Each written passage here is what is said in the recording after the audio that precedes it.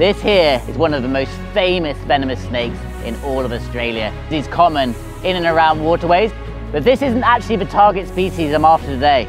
I'm after another very common species called the eastern water dragon. My name's Jack Randall and I'm a zoologist. The carnivorous predator. I'm showing you every animal on the planet. Come on, let's go. To find the water dragon, I've come to a rainforest habitat home to an abundance of wildlife. I'm looking along these streams, which is the perfect area for the water dragon to live. That there is a small female water dragon. Whoa. It's a little bit too quick. That young dragon may have gotten away, but it's still early in the morning and not that warm yet, so there's a good chance we can get a bit closer to another one who's still out basking. Oh, water dragon. Yes, that is an absolute monstrous dragon. Right, so what I'm gonna try and do is creep up and show you him up close. Woo!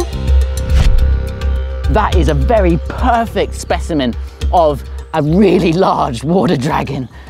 And look at that, missing the end of that tail. He's probably been in battle with another male.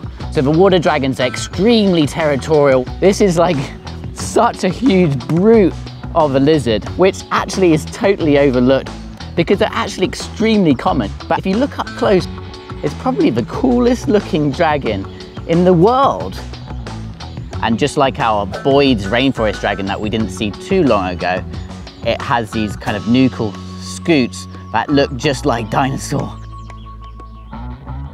The incredible thing given their name is that they can actually live and submerge themselves in water. If you look at the nostrils on the top of his head, it allows them just to keep their nostrils out of the water and keep the rest of their body submerged. The other thing is their tails. It's really quite strong. That allows him to be able to propel him through the water with ease. So nice to see you up close. It's actually quite a privilege. People don't quite appreciate this lizard as much as they should. So I'm gonna say thank you, Mr. Water Dragon. Happy hunting. Oh!